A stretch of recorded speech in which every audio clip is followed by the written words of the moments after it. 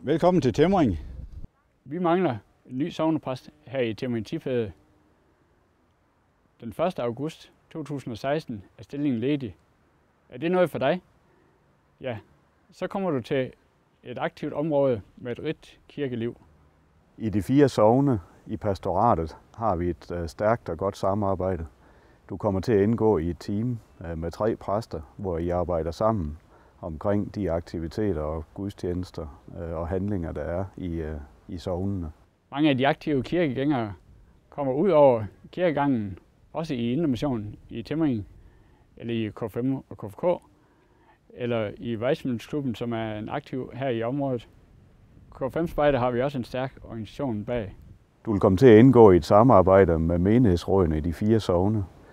Du vil uh, komme til at være med til at arrangere uh, sovneaftener, og vi glæder os rigtig meget til at få din input. I mit arbejde som øh, kirke- og kulturmedarbejder, der arbejder jeg jo tit sammen med jer præster.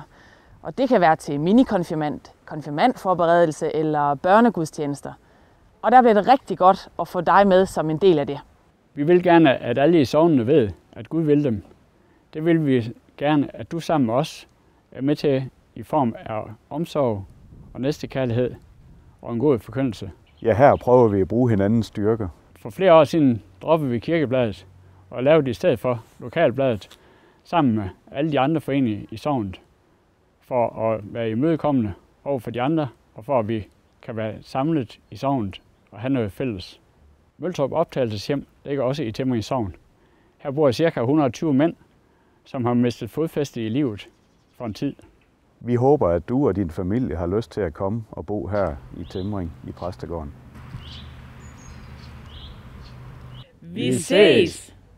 I Vildbjerg. Nøvling. Og Temmering Tiphede. Og vi glæder os til at se din ansøgning.